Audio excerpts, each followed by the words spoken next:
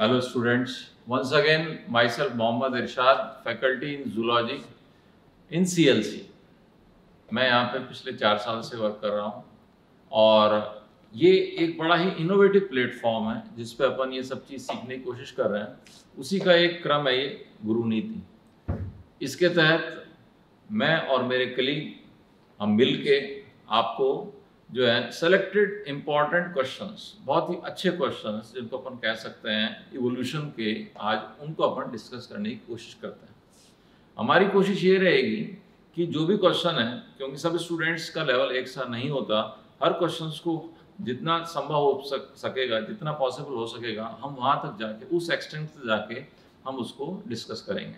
So that each and every student can come on the same platform यहाँ पर हम bilingual use करेंगे। मैं पहले कहता हूँ कि पिछली बार एक बात आई थी तो इसमें यहाँ ये होता है कि इंग्लिश वाला स्टूडेंट भी सुन रहा है इसको हिंदी वाला स्टूडेंट भी सुन रहा है इसको तो इस तरह का हम कोशिश है हमारी कोशिश ये है कि हिंदी मीडियम के स्टूडेंट्स भी इक्वली बेनिफिशियल हो और बेनिफिटेड हो और इंग्लिश मीडियम के स्टूडेंट्स भी इक्वली बेनिफिटेड हो।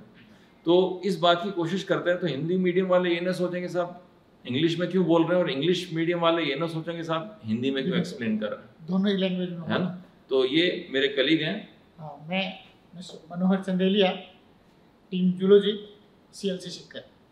और हम पिछले इवोल्यूशन के कुछ टॉपिक आपके सामने डिस्कस किए थे। और अब अपने इवोल्यूशन पर ही आगे, उसी क्रम को आगे बढ़ाते हुए डिस्कस कर रहे हैं। कुछ क्वेश्चनों का जो एनसीईआरटी बेस्ड क्वेश्चन है। और आपके नीट के एग्ज़ाम के पॉइंट ऑफ़ व्यू से बहुत ही इम्पोर्टेंट है। और ये एक शानदार प्लेटफॉर्म है जिसमें आपसी डिस्कस से आप भी कुछ सीखते हैं और एग्ज़ाम के पॉइंट ऑफ़ व्यू से वो सारी चीज़ें आपके लिए इम्पोर्टेंट रहती हैं। ठीक है? तो स्टार्ट करते हैं students question number 119 which of the following can result the change in allele frequency of a small population? कौन सा एक छोटी समस्ती की जीनी बारंबारता को परिवर्तित कर सकते हैं? तो ये देखिए आप क्वेश्चन की अप्रोच कौन से थ्योरी से लिए हार्डी विनबर्ग थ्योरी तो हार्डी विनबर्ग थ्योरी में आपने पढ़ा है कि कुछ ऐसे फैक्टर है जो उसकी एलिल फ्रीक्वेंसी को चेंज कर सकते हैं। तो हार्डी विनबर्ग थ्योरी में आपने पढ़ा है कि उसमें किसी भी पॉपुलेशन के अंदर जो जीन पूल है वो कांस्टेंट बना रहता है। तो जीन पूल कांस्टेंट बना रहता है उस जीन पूल को या उसकी जीन फ्रिक्वेंसी को। ऐसे कौन से फैक्टर है जो उसको चेंज कर सकते हैं? तो इसमें आप देख सकते हैं, पहला फाउंडर इफ़ेक्ट और उसके बाद तो इसमें ये आप देखें फ़र्स्ट फाउंडर इफ़ेक्ट तो फाउंडर इफ़ेक्ट है, ये इसको चेंज कर सकता है। उसके बाद देखें एब्सेंस ऑफ़ नेचुरल सिलेक्शन ये चेंज नहीं करता। नेचुरल सिलेक्शन जो है, वो चेंज कर सकता है, लेकिन दे रखा क्या है? एब्सेंस ऑफ़ नेचुरल सिलेक्शन तो नेचुरल सिलेक्शन ये चेंज नहीं करेगा। नेक्स्ट बोटल नेक इफ़ेक्ट तो बोटल नेक इफ़ेक्ट भी आपने पढ़े हैं, दोनों effect founder effect and bottleneck effect ये दोनों ही एलिल फ्रिक्वेंसी को चेंज कर सकते हैं। करेक्ट आंसर उसके अकॉर्डिंग क्या होना चाहिए? देखिए फोर्थ क्वेश्चन जो है फोर्थ ऑप्शन इसका करेक्ट ऑप्शन हो जाएगा। क्लियर आया समझ में? इसके साथ ही नेक्स्ट क्वेश्चन चलिए सर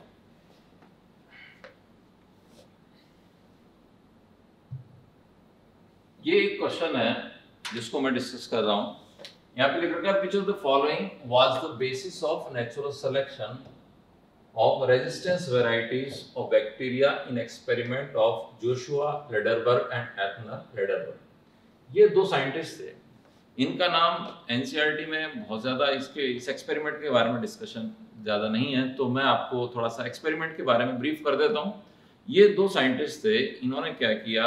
कि बैक्टीरिया को ग्रो कराया एक कल्चर मीडियम ठीक है? उस कल्चर मीडियम में बैक्टीरिया की ग्रोथ अच्छी खासी हो गई तो इन्होंने एक वेलवेट ली, मखमल। उस वेलवेट को लेके इन्होंने उस बैक्टीरिया की प्लेट पे लगाया और उसको एक दूसरी प्लेट पे उस कल्चर को शिफ्ट किया। तो अब क्या हुआ कि जिस दूसरी प्लेट पे शिफ्ट किया, वहाँ पे एंटीबायोटिक वहाँ पे मौजूद थी पेनिसिलिन तो ज़्यादातर जो माइक्रोब्स थे इकोलाई जो थे, वो उस पेनिसिलिन के इफ़ेक्ट से खत्म हो गए, मर गए, क्योंकि वो एंटीबायोटिक थे।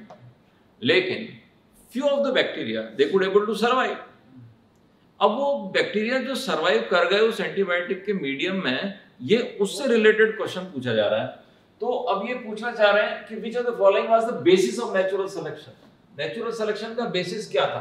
तो अब इसमें पहला ऑप्शन है पोस्ट अडेप्टिव म्यूटेशन मतलब पहले अडेप्टेशन हुआ, फिर म्यूटेशन हुआ। तो पहले अडेप्टेशन और फिर म्यूटेशन का तो कंसेप्ट ही नहीं है। दूसरी बात है pre adaptive gene mutation means पहले से कोई जीन में इस तरह का म्यूटेशन प्रेजेंट था जो कि उस बैक्टीरिया की सर्वाइवल कैपेसिटी को इंक्रीज कर रहा था। And that was the main reason for survival of those bacteria in the antibiotic medium तो यहाँ पर ये ऑप्शन ठीक है। फिर जैसे एक ऑप्शन लिख रखा है gene mutation due to effect of antibiotic means इसका मतलब ये हो गया कि एंटीबायोटिक की मौजूदगी में कोई म्यूटेशन हुआ हो। तो मौजूदगी में अगर म्यूटेशन होता तो वो वैसे ही मर जाता, उससे पहले ही मर जाता हो तो एंटीबायोटिक का इफ़ेक्ट तो पहले होता है, म्यूटेशन तो बाद में हुआ तो वो सर्वाइव ही नहीं कर सकता था, मर जाता वो बैक्टीरिया चौथा है gene mutation due to effect of DDT तो डीडीटी का तो यहाँ पे इस एक्सपेरिमेंट में दूर दूर तक का कोई रिलेशनशिप ही नहीं है तो इसलिए the correct answer is the pre adaptive gene mutation इसका मतलब पहले से बैक्टीरियल कॉलोनी में कुछ बैक्टीरिया इस तरह के प्रेजेंट थे, जिनके अंदर वो एंटीबायोटिक रेजिस्टेंस का जीन प्रेजेंट था चाहे वो किसी दूसरे उससे आया हो स्ट्रेन से आया हो, लेकिन वो प्रेजेंट था और इसीलिए वो बच गए।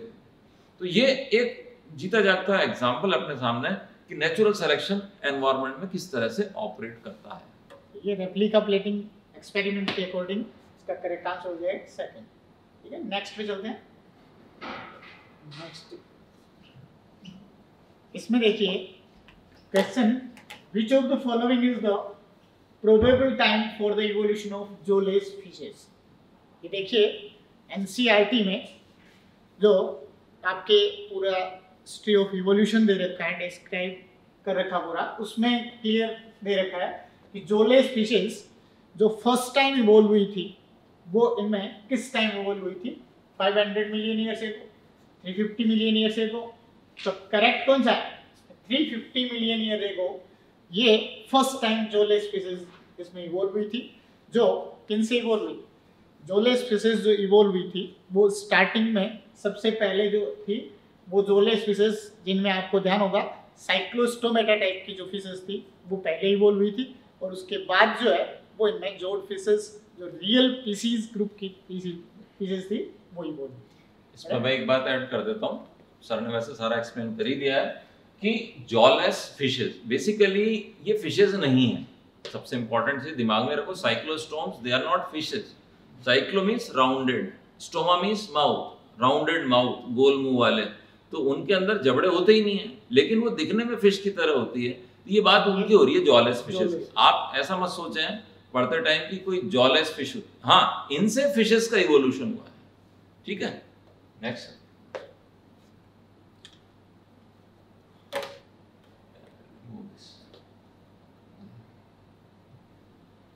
अब ये क्वेश्चन है which of the following was a fish like reptile मछली की तरह का रेप्टाइल कौन था इसमें से? अब देखिए एनसीईआरटी का क्वेश्चन है। इसके अंदर ये जो एग्जांपल्स दे रखे हैं, ये बेसिकली सारे के सारे डिफरेंट टाइप के डायनासोर्स हैं। जैसे टायनासोरस रेक्स ठीक है इक्थियोसॉरस अब अपने को बायोलॉजी बेसिक आनी चाहिए। ये कोई बहुत हाई फाई साइंस नहीं है, जिसको अपन पढ़ रहे हैं यहाँ पे। Ichthyology study of fish skin से रिलेटेड तो ऐसे डायनासोर्स जिनकी स्किन या जिनका बॉडी मछलियों से रिजेंबल करता था उनमें से एक था ये इक्थियोसोरस ये पानी में रहने वाला डायनासोर था। अब ये इसकी बॉडी का जो डिज़ाइन था it was just like a fish इस तरह का डिज़ाइन था ये। तो ये मछली के समान सरीसृप है ना? फ़िश लाइक इसकी बॉडी थी। तो ये इस तरह का था। बाकी तो सारे ये ज़मीन पे रहने वाले थे। डायनासोरस स्टीगोसोरस ट्राइसेराटॉप्स ये सारे टेरेस्ट्रियल डायनासोर्स थे। ठीक है तो, तो करेक्ट आंसर इज़ इक्थियोसॉरस है ना? पानी में रहने वाला। तो उसमें नेक्स्ट नेक्स्ट देखिए इसी से रिलेटेड क्वेश्चन है ये। Which of the following reptile shows the convergent evolution with the whale? Whale से convergent evolution को शो करने वाले इनमें से कौन से रेप्टाइल्स हैं? तो इसमें whale से convergent evolution मींस किस रेट विकेट में तो उसके इक्वल इसके सिमिलर हो तो उसके अकॉर्डिंग इनमें इक्थियोसोर्स पैलिकोसोर्स थैरेप्सिड्स सोरोप्सिड्स तो कौन से होने चाहिए? अकॉर्डिंग टू कन्वर्जेंट इवोल्यूशन आपको कन्वर्जेंट इवोल्यूशन जो शो कर रहे हो, वो वेल के अकॉर्डिंग उसके साथ कन्वर्जेंट इवोल्यूशन कौन सा शो करेगा? इक्थियोसोर्स एक्वेटिक है, ये एक्वेटिक है एक्वेटिक हैबिटेट वेल की तरह एक्वेटिक हैबिटेट इसमें एक्वेटिक एडेप्टेशन इसमें इक्थियोसोर्स में इवॉल्व हो जाएँगे। तो उसके अकॉर्डिंग ये इसका कन्वर्जेंट इवोल्यूशन क्लियर तो ये इसमें मैं सर ने वैसे एक्सप्लेन कर दिया है।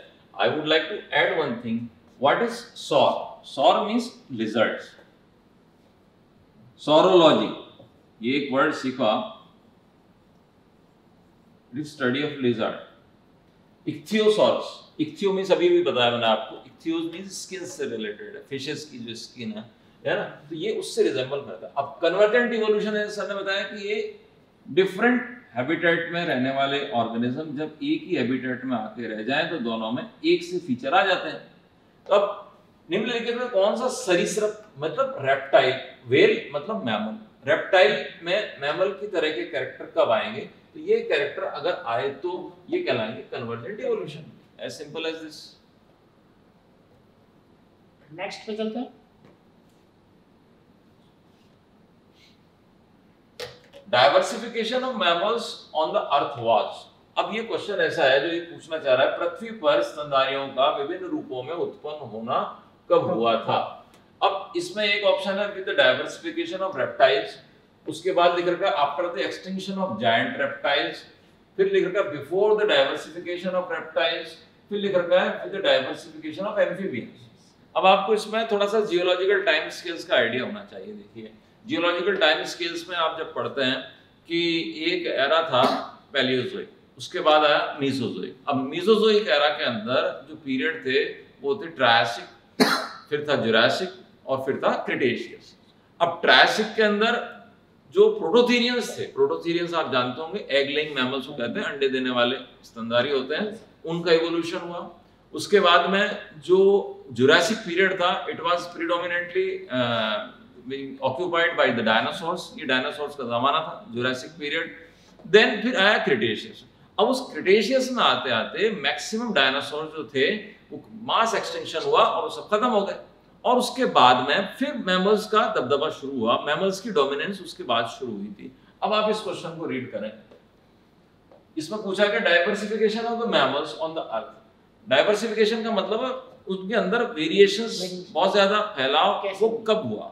तो नेचुरल रेप्टाइल्स के साथ साथ तो नहीं होता फिर आया after extinction of giant reptile giant reptile का मतलब होता है वही डायनासोर जिनकी अपन बात कर रहे हैं। इनके एक्सटिंक्शन होने के बाद फिर पूछा फिर लिख रखा है बिफोर द डाइवर्सिफिकेशन रेप्टाइल्स के डाइवर्सिफिकेशन से पहले तो मैमल थे ही नहीं।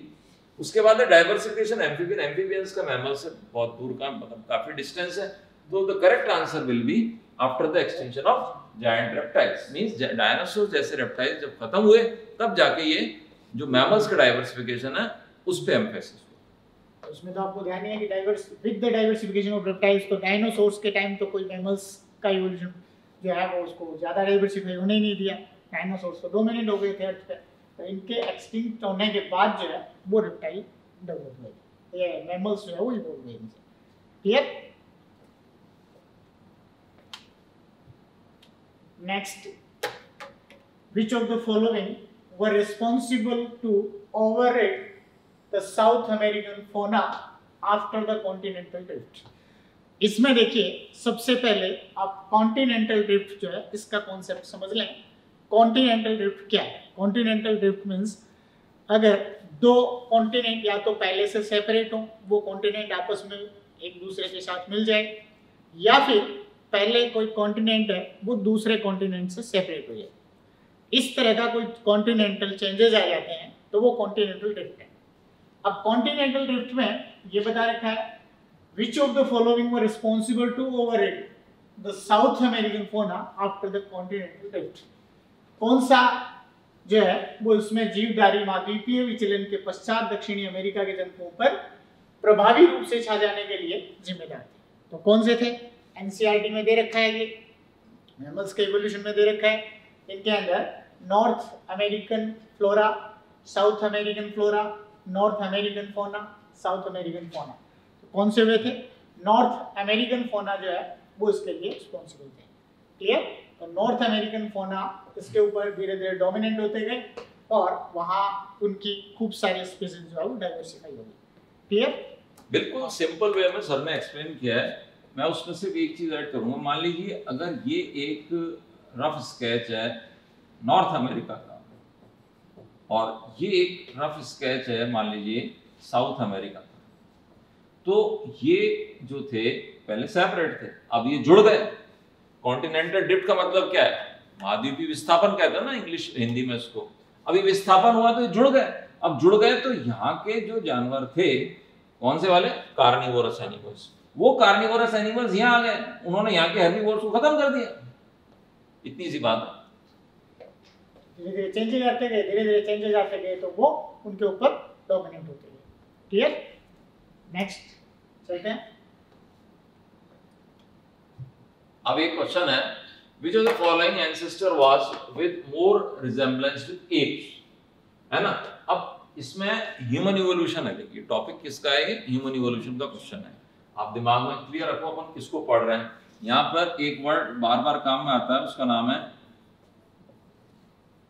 पिथेकस पिथेकस का मतलब होता है एप ठीक है ना?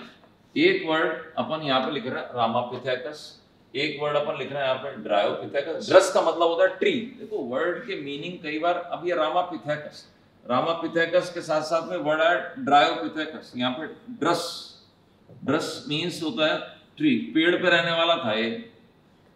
अब एक है होमो हैबिलिस एक है होमो इरेक्टस तो ये तो अब पूछना क्या जा रहा है? क्वेश्चन में क्या पूछा इस पे फोकस करो। आप क्वेश्चन में पूछा जा रहा है कि जो एप से ज़्यादा रिजेंबल करता था ह्यूमन से नहीं नॉट विद मैन एप से ज़्यादा रिजेंबल करता था तो एप से ज़्यादा रिजेंबल कौन करता था?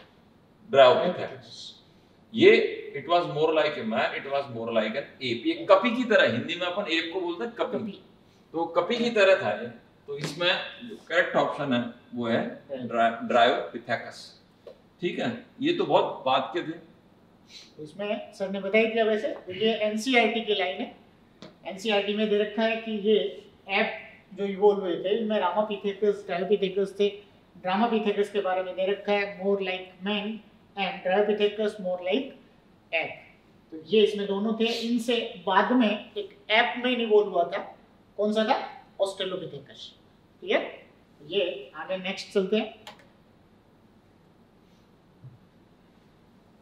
नेक्स्ट क्वेश्चन है which of the following is considered as the anthropogenic evolution anthropogenic evolution means आप समझ रहे हो एंथ्रोपोजेनिक मीन्स मैन मेड जिसको ह्यूमन ने अपने पर्पज के अकॉर्डिंग इवोल्व किया।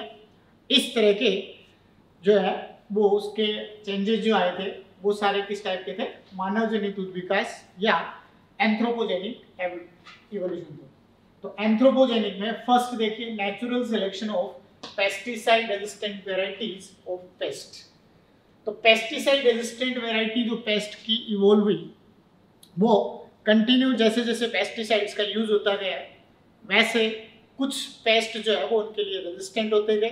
तो ये किसके कारण हुआ? ह्यूमन के कंटिन्यू पेस्टिसाइड्स का यूज़ करने next natural selection of DDT resistant varieties of mosquito तो मॉस्किटो को मॉस्किटो की डीडीटी रेजिस्टेंट जो वेराइटी इवोल्व हुई, वो भी सेम वही पैटर्न था। कंटिन्यू डीडीटी के स्प्रे करने के बाद, उनमें से ही कुछ ऐसे जो है वो उसमें हो गई वोल्व हो गए मॉस्किटो जो उस डीडीटी के लिए रेजिस्टेंट हो गए। सेम ऐसे natural selection of antibiotic resistant varieties of pathogens लगातार पैथोजेंस के लिए जो इसमें एक के बाद एक एंटीबायोटिक्स डेवलप की जा रही है उसमें भी क्या हो रहा है कि जैसे जैसे एंटीबायोटिक को एक्सपोजर हो रहा है इनके ऊपर वैसे वैसे वो बैक्टीरिया उन एंटीबायोटिक के लिए रेजिस्टेंट होते जा रहे हैं जिसके कारण डे बाई डे जो है वो नई नई एंटीबायोटिक्स आज देख रहे हैं। तो ये तीनों अगर देखें तो किस टाइप की इवोल्यूशन है? एंथ्रोपोजेनिक इवोल्यूशन है मैन मेड इवोल्यूशन है सारे। ये करेक्ट आंसर क्या होना चाहिए इसके अकॉर्डिंग ऑल ऑफ़ दीज जो है वो इसका करेक्ट ऑप्शन सारे के सारे वो फैक्टर्स मेंशन्ड हैं यहाँ पे तीनों के तीनों फ़र्स्ट तीन ऑप्शन में, जो कि मैन मेड फैक्टर्स हैं। और क्वेश्चन में पूछा यही है एंथ्रोपोजेनिक इवोल्यूशन का मतलब क्या है कि मैन मेड फैक्टर से जो इवोल्यूशन हुआ है तो नेचुरल तीनों उसी के एग्जांपल्स हैं, इसलिए आंसर हो गया फोर नेक्स्ट अब ये पूछा गया है इसमें question number 128 consider about the following conditions निम्नलिखित परिस्थितियों पर विचार कीजिए। पहली परिस्थिति है पहली सिचुएशन दी गई लार्ज साइज़ पॉपुलेशन ये क्वेश्चन भी मोस्ट लाइकली मुझे लगता है सर ये हार्डी की इक्वेशन पे बेस्ड है. स्मॉल साइज़ पॉपुलेशन है ना रैंडम मेटिंग फिर लिख रखा है स्लो और negligible rate of gene mutation genetic drift founder effect absence of natural selection इतनी सारी बातें लिख रखी हैं। One two three four five six and seven अब इसमें से क्या पूछ रहे हैं? कि विच ऑफ़ दीज कंडीशन मतलब इन कंडीशंस में से कौन सी are required for change in allele frequency allele frequency बदलने के लिए किसकी ज़रूरत होगी? ठीक है ना? अब अलील फ्रीक्वेंसी पॉपुलेशन में बदलने के लिए किसकी ज़रूरत होगी? तो अलील फ्रीक्वेंसी जो होती है अगर अपन बात करें एक स्मॉल साइज़ पॉपुलेशन तो उसको आप सबसे जल्दी डिस्टर्ब कर सकते हो स्मॉल साइज़ पॉपुलेशन ठीक है? उसके अलावा जब उसके अंदर, क्या कह सकते हैं अपन, ये नेग्लिजिबल जीन म्यूटेशन है। इसमें, देखिए लार्ज साइज़ पॉपुलेशन ये एक आपने हार्डी विलबर्ग लॉ में क्लियर पढ़ रखा है कि एक लार्ज साइज़ पॉपुलेशन होगी। उसमें कंटिन्यू अगर रैंडम मैटिंग होती रहे तो उसमें जीन पूल कांस्टेंट बना रहता है। इट मींस ये दोनों फैक्टर तो ऐसे हो नहीं सकते। जिसके कारण? जीन या एलिल फ्रीक्वेंसी चेंज हो। जाए ये दो तो हट गए अलग। अब चेंज कौन से कर सकते हैं? स्मॉल साइज़ पॉपुलेशन अगर स्मॉल साइज़ पॉपुलेशन हो, ये चेंज कर सकता है।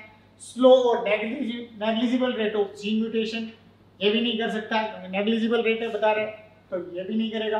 Next genetic drift genetic drift जो है, वो इसको चेंज कर सकती है। क्यों?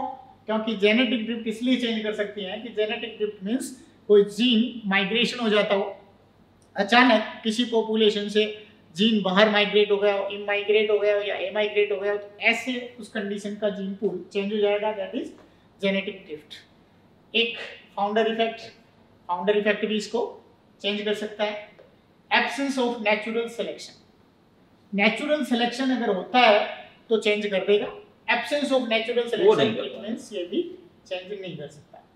तो इसमें जो ऑप्शन निकल के आ रहे हैं वो लगभग एक तो ये नहीं ये तो बी हो जाएगा। एक तो बी हो जाएगा। एक ई हो जाएगा जेनेटिक ड्रिफ्ट और एक F F founder effect means B E F only तो ये सेकंड ऑप्शन इसका करेक्ट है। बाकी इनसे ये फ्रीक्वेंसी नहीं। तो अपने को हार्डी वीनबर्ग इक्वेशन का बेसिक याद रखना चाहिए कि एक लार्ज रैंडमली मेटिंग पॉपुलेशन है उस लार्ज रैंडमली मेटिंग पॉपुलेशन में gene frequency genotype frequencies allelic frequencies constant बनी रहती हैं। अगर कोई इवोल्यूशनरी फोर्स वहाँ पे ऑपरेट नहीं कर रही हो। ऐसा नेचर में कभी होता नहीं है। इवोल्यूशनरी फोर्स ऑपरेट करती हैं। इवोल्यूशनरी फोर्स ऑपरेट करती है तो भी अपन इस लॉ को इसीलिए पढ़ते हैं ताकि अपने को ये कैलकुलेट करने का तरीका पता लग जाए कि इवोल्यूशन किस एक्सटेंट तक हुआ है, कितना इवोल्यूशन हुआ है। अपन कहते हैं कि साहब पूंछ छोटी हो गई, अपन कहते हैं पूंछ लंबी हो गई, अपन कहते हैं साहब आदमी पहले झुका हुआ था, फिर बाद में सीधा हो गया। तो इस तरह के जो चेंजेस आए तो किस रेशो में, किस तरह से आगे बढ़ा तो उसको कैलकुलेट करने के लिए अपने पास में जो है सबसे अच्छा जो तरीका है, वो है Hardy Weinberg Hardy equation Weinberg equation में आपको ध्यान है जीन पूल को चेंज करने वाले factors five factors Hardy Weinberg ने इंक्लूड किए हैं, जिनमें कौन कौन से हो सकते हैं? Natural selection gene mutation genetic drift इसमें जेनेटिक ड्रिफ्ट जीन माइग्रेशन में, और एक इनके अंदर, ये इसका नेचुरल सिलेक्शन है क्लियर और जीन फ्लो ये ऐसे फाइव फैक्टर्स है जो इसको चेंजेस कर सकते हैं। शर्त क्या होनी चाहिए? पॉपुलेशन लार्ज साइज़ की होनी चाहिए और उसमें रैंडम मैटिंग होनी चाहिए क्लियर ओके नेक्स्ट आगे चलते हैं Next. Which of the following is closest known ancestor of the cycads? वो चार्ट निकाल लो sir Dicotyledons. Dicotyledons monocotyledon plant क्योंकि उसी पे बेस्ड क्वेश्चन है आपके एनसीईआरटी में चार्ट दे रखा है इसके अकॉर्डिंग आप देखें ये देख लीजिए बता तो इसमें आप देखें ये पूछ कह रहा है क्वेश्चन देखिए आप which of the following is the closest non ancestors closest non ancestors of cycads Ancestor. Dicotyledons and monocotyledons. अब डाइकोटिलेडोन्स मोनोकोटिलेडोन्स एंड साइकेड्स इसके क्लोजेस्ट एंसेस्टर बताने आपको। तो ये डाइकोटिलेडोन्स मोनोकोटिलेडोन्स एंड साइकेड्स तो साइकेड्स डाइकोटिलडोन्स मोनोकोटिलडोन्स इनके closest ancestors कौन से हुए सीड Seed forms. तो इसके अकॉर्डिंग आप देख सकते हो। आंसर क्या जाना चाहिए इसका? Seed form. Clear NCERT based question है। पूरा एनसीईआरटी का जो फ्लो चार्ट है ये आपको पहले भी कई बार बताया जा चुका है कि ये दोनों फ्लो चार्ट जो फ्लोरा एंड फोना के इवोल्यूशन के फ्लो चार्ट दे रखे हैं वो दोनों ही एग्ज़ाम के पॉइंट ऑफ़ व्यू से बहुत ही इंपॉर्टेंट फ्लो चार्ट है। वो पूरी उनकी डिटेल स्टडी आपके लिए बहुत ही ज़रूरी है। क्लियर नेक्स्ट चलते हैं Which of the following is not evolved from sauropsid thecodont ancestor? ठीक है सौरो मीन्स मैंने अभी आपको थोड़ी देर पहले एक्सप्लेन किया था लिजर्ड्स थिकोडॉन्ट थिकोडॉन्ट आप सबने डेंटिशन पढ़ रखा है। थिकोडॉन्ट का मतलब होता है मसूड़े में लगे हुए दांत। गम्स में माउंटेड टीथ वो कहलाता है थिकोडॉन्ट टीथ अब अपने को यहाँ पे जो एनसीईआरटी में एक फ्लो चार्ट दिया हुआ है इवोल्यूशन वाले चैप्टर में उसकी स्टडी करनी पड़ेगी। इसमें आप देखिएगा है? ये यहाँ से स्टार्ट हो रहा है। ये सौरभसिड सौरोपसिड सौरभसिड से एक लाइन निकली ये इवोल्यूशन की लाइन ये देख लीजिए ये थिकोडॉन्ट्स की है। ये थिकोडॉन्ट है जो है वो आप देख सकते हैं यहाँ पर इससे एक इवोल्यूशन है सीधा एक crocodile this is crocodile crocodile अब अब इससे आप देखें एक लाइन निकली जो इवोल्यूशन की ये निकली किसकी? ये निकली. बर्ड्स हाँ। नेक्स्ट जिससे बर्ड्स इवोल्व हो रहे हैं। बर्ड्स इवॉल्व हो रहे हैं देखिए आप यहाँ पे है ना? थर्ड मैमल्स मैमल्स ये- थेराप्सिड्स है थेराप्सिड्स है ये पेलिकोसॉरस एक डायनासोर्स है क्रोकोडाइल नहीं, ये ये वाला ना सर ये सिनेप्सिड से बता रहा है। सिनेप्सिड से पेलिकोसॉरस पेलिकोसॉरस से थेराप्सिड सौरोपसिड थिकोडोंट से हाँ। सौरोपसिड थिकोडोंट एंसेस्टर्स हाँ। डायनासोर्स ये इससे इवोल्व है। क्वेश्चन क्यों क्या पूछा है? Which of the following is not evolve from not evolve not evolve पूछा है। नेगेटिव इंपैक्ट वाला क्वेश्चन है। हाँ। उसके अकॉर्डिंग आपको देखना है कि कौन सा इससे इवोल्व नहीं हुआ। Tuataras birds mammals crocodiles dinosaurs अब इसमें आप देखिए ये क्रोकोडाइल बर्ड्स डायनासोर्स ये आप देख लीजिए देख लीजिए बर्ड्स क्रोकोडाइल एंड डायनासोर्स ये तीनों किससे इवोल्व हुए थिकोडोंट एंसेस्टर्स तो कौन से इवोल्व नहीं हुए? ट्वाटरस ट्वाटरस और mammals answer? A and C answer आ जाएगा फ़र्स्ट इसका एक बार चार्ट निकालना से दोबारा से एक्सप्लेन कर देते हैं थोड़ा सा। हाँ। देखिए आप। बार कर। दो।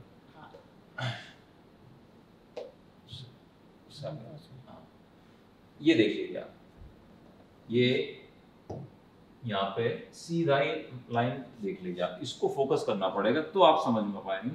ये सौरभसिड ये यहाँ से सीधा लाइन गया।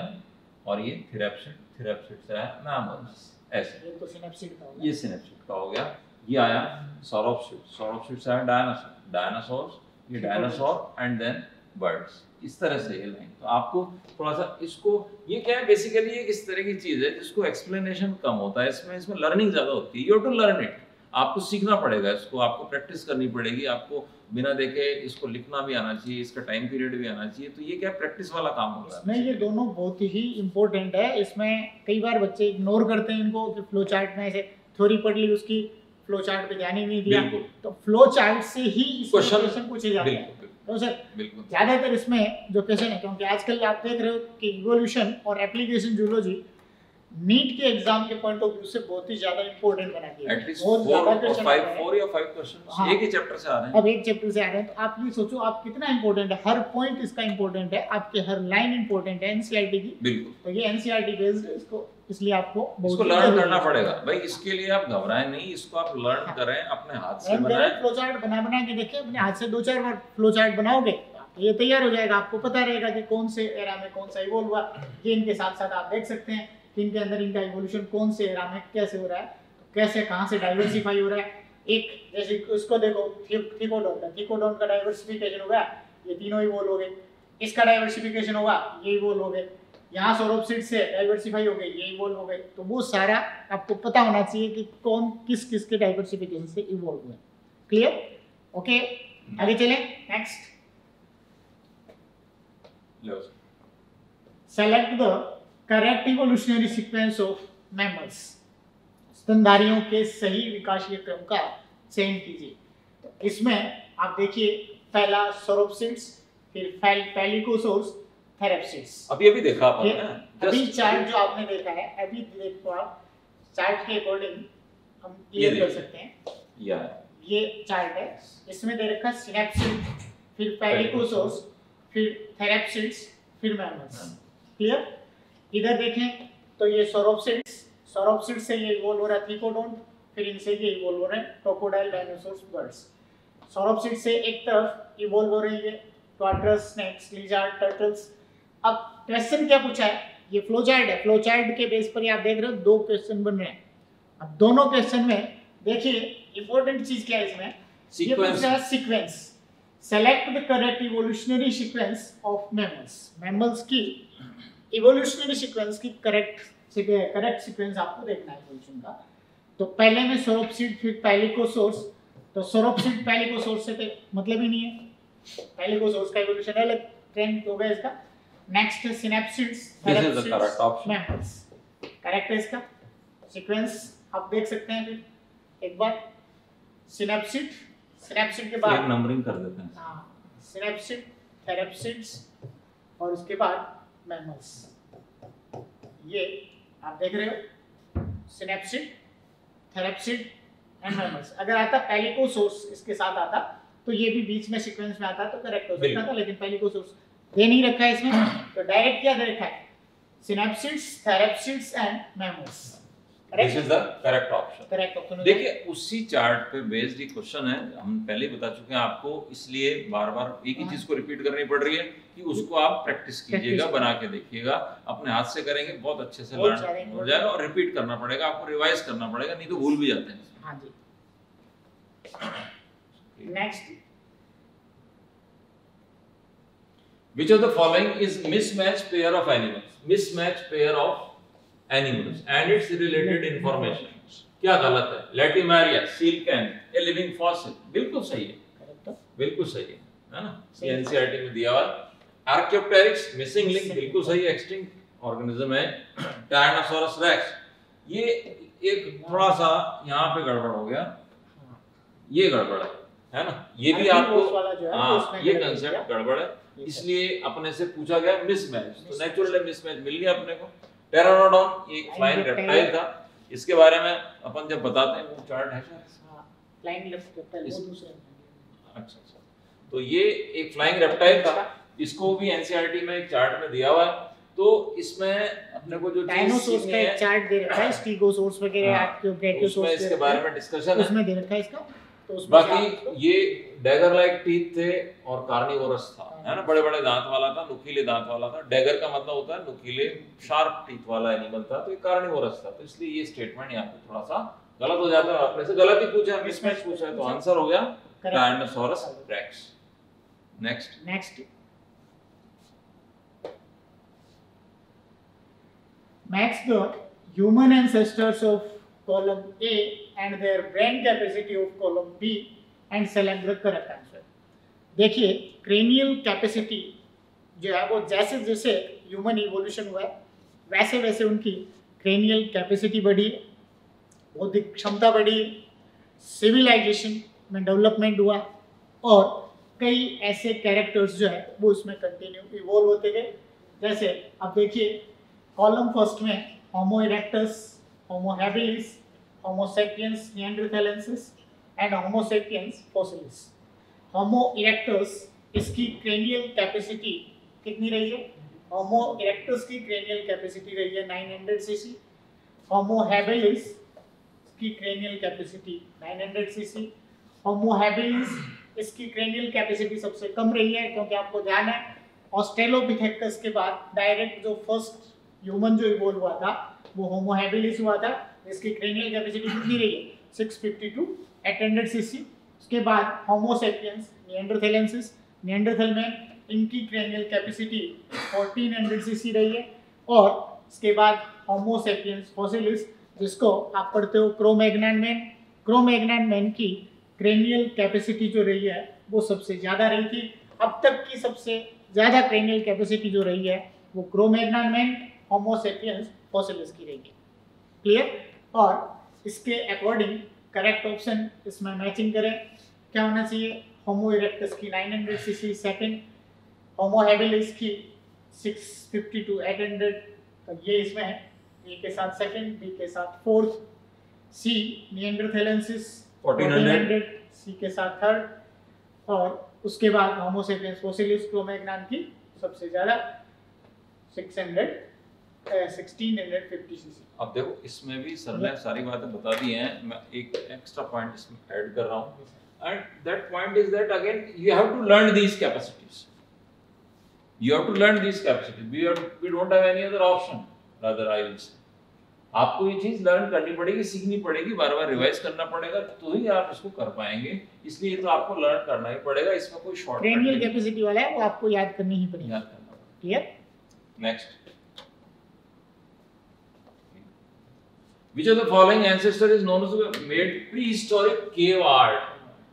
Prehistoric cave art. Cave art का मतलब है गुफाओं में चित्रकारी करना ये लिख रखा है हिंदी में निम्न में से कौन सा पूर्वज पूर्व ऐतिहासिक गुफा चित्रकारी के लिए जाना जाता है अब जाने जाते इसमें देखिए अब ये बात जो है ना होमो सेपियंस फॉसिल्स इसके लिए हाँ।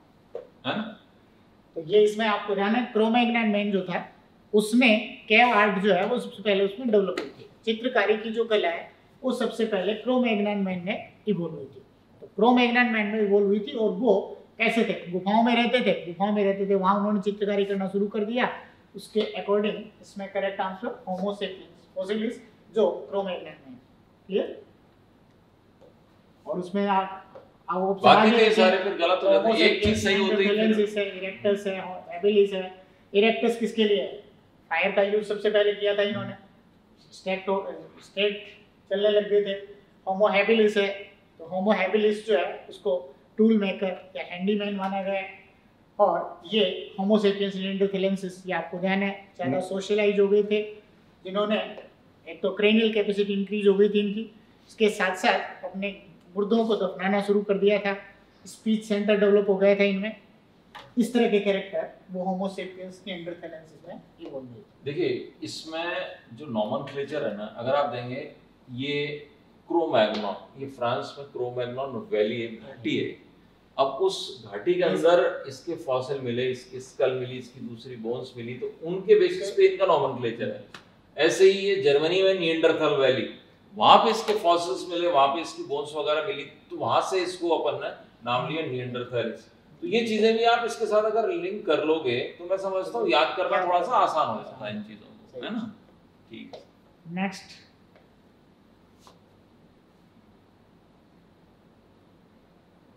Which of the following arose about 75,000 to 10,000 years back? ये तो अपनी खुद की बात कर रहे हैं इंसान की बात हो रही है। तो ठीक है तो अपन सीधे यहाँ पर एग्जिस्ट करते हैं। क्यों? क्योंकि ये सारे के सारे तो भाई वन मिलियन से पुराने हैं तो बहुत आसान सा सवाल है। पिछहत्तर हज़ार से लेके दस हज़ार साल पहले कौन आया था? तो अपन ही आए थे दुनिया में। बाकी तो सारे वन मिलियन वाले हैं वो या उससे भी ज़्यादा है। इससे बड़ा आसान सा सवाल है। इसमें सबसे इजी आंसर है। Modern man modern man modern में मुझे correct। अब उसमें नेक्स्ट देखते हैं। इसमें आप देखिए which of the following is a mismatched pair of human ancestor and their characteristic mismatched pair देखना है। इसमें आपको कि मिसमैच पेयर इसमें से कौन सा रहेगा? तो मिसमैच पेयर है इसमें Homo habilis first tool maker अभी आपको बताया था इससे प्रीवियस क्वेश्चन में चर्चा की थी कि Homo habilis first tool maker हैं।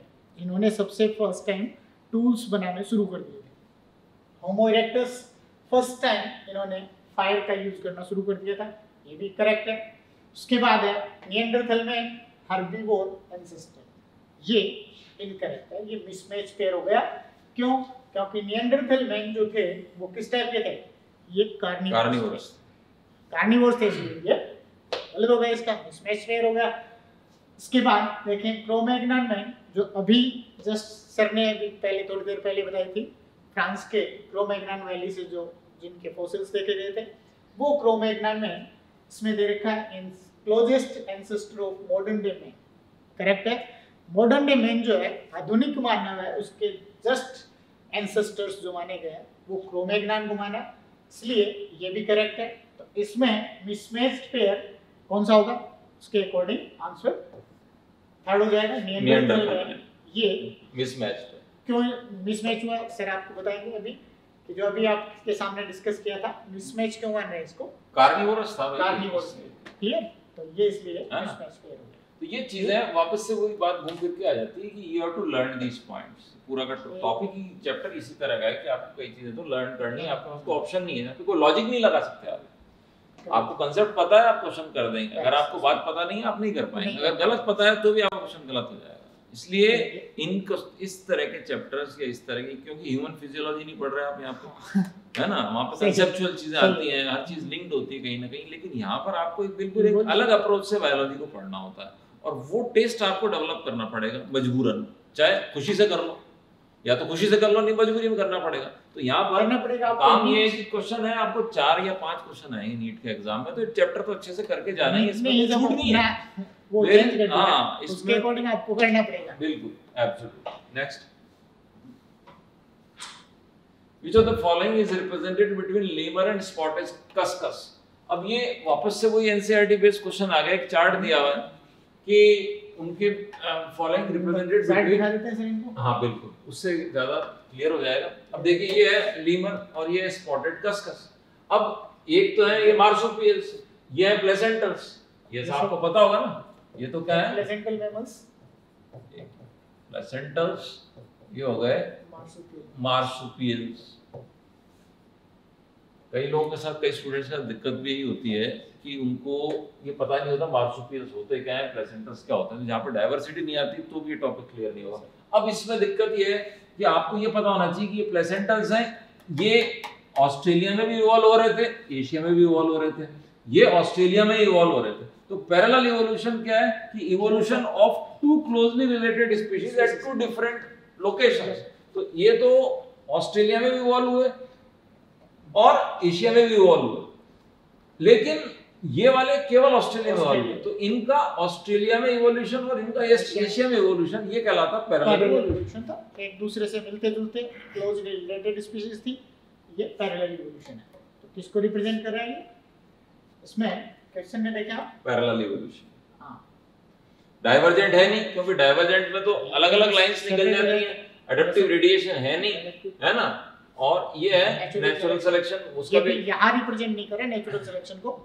ये अलग अलग जो है वो डिफरेंट टाइप की जो क्लोज रिलेटेड स्पीशीज है वो डिफरेंट ज्योग्राफिकल एरिया में इवॉल्व हो रही है।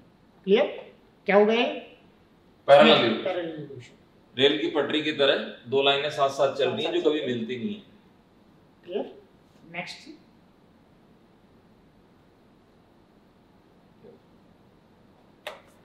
which of the following evidence is provided by Darwin's finches of Galapagos Island? कौन सा प्रमाण? गैलापेगोस आइलैंड पर या गैलापेगोस द्वीप समूह के डार्विन फिंचों के द्वारा उपस्थित कराया गया बाय जोग्राफिकल एविडेंस करेक्ट है? Evidence from branching descent Darwinian theory के अकॉर्डिंग बता रखा है। दो की कॉन्सेप्ट थे ब्रांचिंग डिसेंट और सेकंड नेचुरल सिलेक्शन ये भी करेक्ट है ब्रांचिंग डिसेंट का एविडेंस है। एविडेंस फ्रॉम डाइवर्जेंट इवोल्यूशन और एडेप्टिव रेडिएशंस तीनों ही करेक्ट है।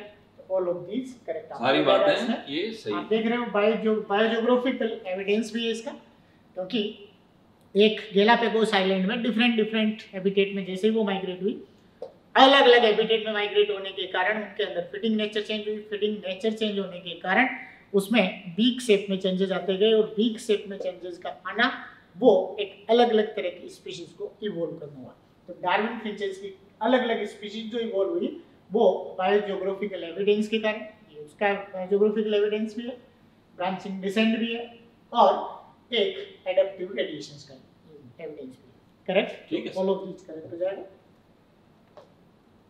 Which of the following ex, uh, extinct ancestor essentially ate fruits? Extinct है अपना ancestor भी है जो क्या खाता था? फल खाता था. And hunted with stone weapons वही वाली बात आ गई. अभी जब डिस्कस किया था कि ये जो वाला था कौन सा वाला? Homo habilis Homo habilis tool maker था. ऑस्ट्रेलोपिथेकस ये रामापिथेकस ड्रायोपिथेकस अब इसमें आप देखो पूछा क्या है? Essentially ate fruit and hunted with stone weapons stone weapons से हंट करता। था शिकार। करता था लेकिन फिर भी वो कार्निवोर्स नहीं थे। क्या करते थे? वो फ्रूट्स खाते थे लेकिन औजारों से शिकार करना जो है वो इन्होंने शुरू कर दिया था। तो इसके लिए करेक्ट. ऑस्ट्रेलोपिथेकस है। तो ये एक एप मैन था। ध्यान होगा आपको ऑस्ट्रेलोपिथेकस एप और ह्यूमन इन दोनों के बीच एक कनेक्टिंग लिंक जो है वो इवॉल्व हुई थी। क्लियर जो इनके दोनों के बीच कनेक्टिंग लिंक थी दोनों के कुछ कैरेक्टर्स जो है वो इसमें प्रेजेंट थे। इन्होंने शिकार करना शुरू कर दिया था लेकिन ये फिर भी कार्निवोर्स नहीं थे। क्लियर करेक्ट आंसर अब इसमें वर्ड के मीनिंग पे जाइए देखिए। मैं आपको छोटी सी बात बता रहा हूँ।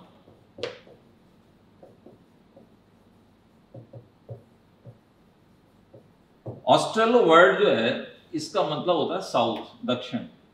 यहाँ पे दक्षिण कई बच्चे कैसा ऑस्ट्रेलिया में आया था क्या ऑस्ट्रेलिया में नहीं आया ये आया साउथ अफ्रीका में। साउथ अफ्रीका में इवॉल्व हुआ था ये और वहाँ से माइग्रेट करके फिर दूसरी लोकेशंस पे गया था। ये चीज़ आप ध्यान रखना कि जो ऑस्ट्रेलोपिथेकस था वो ये सारे काम करते थे शिकारिका का लेकिन ये खाते थे फल। ठीक है? Next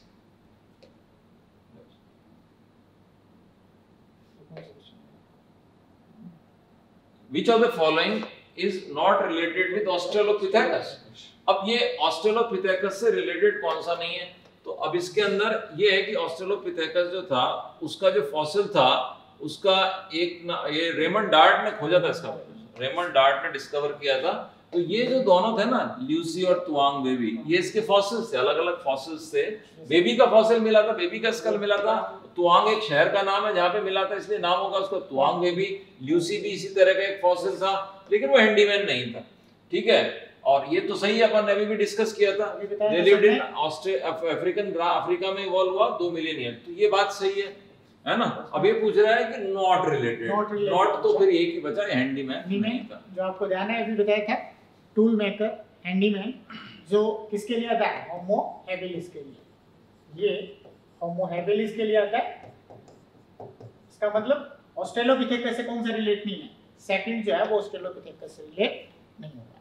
क्लियर नेक्स्ट चलते हैं। Who use the term survival of the fittest यहाँ पर वो ये लर्न करने वाली बात है। हर्बर्ट स्पेंसर ने सबसे पहले ये बताया था कंसेप्ट सर्वाइवल बाद में डार्विन ने इसको बड़ी डिटेल में एक्सप्लेन किया था नेचुरल सिलेक्शन के साथ में ऐड करके। ठीक है तो यहाँ पर करेक्ट आंसर है हर्बर्ट स्पेंसर ये लर्न करना पड़ेगा आपको नेक्स्ट चलते हैं which of the following is incorrect about the homo erectus homo erectus के लिए incorrect कौन सा है homo erectus ध्यान है आपको homo habilis से इवोल्व हुए थे जिनमें cranial capacity बढ़कर 900 टू 1000 सीसी हो गई थी जिनमें जावा मैन, पैकिंग मैन और एक तीसरा जो है, वो इनके अंदर Java man, Peking man and Heidelberg man ये तीनों रेसेस जो थी ह्यूमन की, वो किसमें थी? ये होमो इरेक्टस की थी. तो होमो इरेक्टस में क्या पूछा है इसमें? कौन सा गलत है? इज़ इनकरेक्ट पूछा है इनकरेक्ट इसके लिए कौन सा है? They probably did not eat the meat correct है? उसके बाद नेक्स्ट देखें। ये they had large brain capacity sorry did not eat did not they did not ये ये नहीं गाते थे हाँ। ये गलत हो गया इसका। इसका रॉन्ग हो गया इसका फ़र्स्ट ही। इसके बाद दे रखा है they had large brain capacity around the 900 cc अभी आपको बताइए इनकी क्रेनियल कैपेसिटी लगभग 900 सीसी की क्रेनियल 900 टू 1100 के बीच में रेंज के कर आसपास रही थी इनकी क्रेनियल कैपेसिटी थी तो ये भी इसका करेक्ट ऑप्शन हो गया। उसके बाद है they were first fire user इन्होंने फायर का यूज़ करना शुरू कर दिया था। ये हंट करते थे शिकार करते थे और उसने शिकार को भून कर खाना रोस्टेड करके खाना इन्होंने शुरू कर दिया था। तो फायर का यूज़ करना इन्होंने स्टार्ट कर दिया था। तो होमो इरेक्टस के लिए ये भी करेक्ट हो गया। उसके बाद they evolve from the Homo habilis ये होमो हैबिलिस से इवोल्व हुए थे। ये भी इसका करेक्ट है। तो ये अभी आपको इससे पहले ही बता दिया था सारे इसके। होमो हैबिलिस से इवोल्व होके और इनमें क्रेनियल कैपेसिटी इंक्रीज हो गई थी। और ये इसके लिए इनकरेक्ट पूछा है तो इनकरेक्ट में क्या बताओगे? They did not eat the meat ये मीट नहीं खाते थे, ये दे रखा जबकि ये कैसे थे? कार्निवोर्स थे मीट खाते थे। क्लियर तो ये इसमें इसका होमो इरेक्टस के लिए इनकरेक्ट फ़र्स्ट हो जाएगा। बाकी इसके लिए बाकी सब है तो ठीक है। हाँ, तो ये आपके देखिए जो अब तक क्वेश्चन डिस्कस किए हैं उम्मीद है आपको अच्छा लगा होगा। और कुछ क्वेश्चनों के बारे में जो कॉन्सेप्ट बेस लगभग वैसे इवोल्यूशन है तो आप समझ पा रहे हो इसमें कि ज़्यादा इसमें कॉन्सेप्चुअल चीज़ें नहीं होती। लेकिन फिर भी जहाँ कॉन्सेप्ट लग रहा है वहाँ आपके समझ में आया होगा। जहाँ आपको बताया डाइवर्सिफिकेशन कैसे हो रहा है फ्लो चार्ट के अकॉर्डिंग वो चीज़ें आप अच्छी तरह से समझें। और आगे नेक्स्ट टाइम मिलते हैं। नेक्स्ट गुरु नीति में।